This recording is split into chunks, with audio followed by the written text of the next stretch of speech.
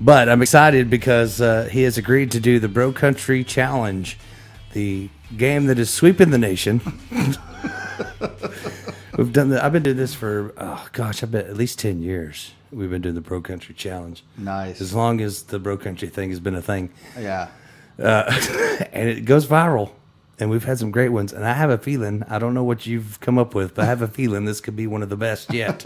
we'll see. we will see here. Uh, so what happens is people give us words that are in bro country songs, and you have to incorporate those in a song.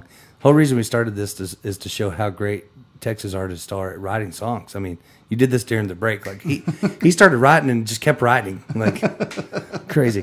And uh, it's probably better than any bro country song you would hear that took ten people in a room for months to write. Right. Yeah, exactly. and it's just going to sound like the previous one that was out before. So, uh, what words were you given to put in this song here? Uh, George Jones, Florida Georgia line, jacked up truck, and chew tobacco.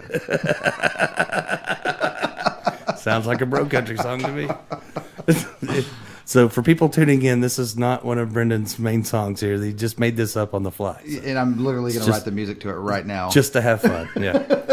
so let's hear, let's hear what you came up All with. right, let's see how it goes. The Bro Country Challenge. Here we go.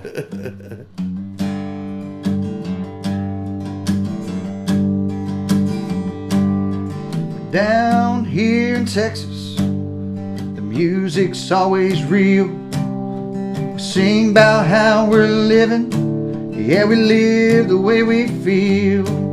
While you're chilling on a dirt road, well, I'm singing George Jones. You're driving your jacked up truck, getting drunk and getting stoned. Well, I don't know what The tasting country music, it's a whole lot better than mine. If you're listening to that bro country, then bro, you better quit. Because it all just sounds a lot like chew tobacco, chew tobacco, chew tobacco shit.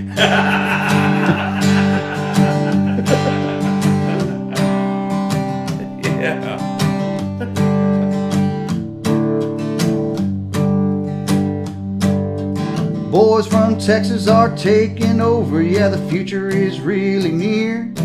You're gonna see Cody Johnson at the CMAs, Parker New Artist of the Year. Yeah, that Texas. Well, I don't know what they're doing down on that Florida Georgia line. Their taste in country music, I guess, is a whole lot better than mine. If you're listening to country, then bro, you better quit.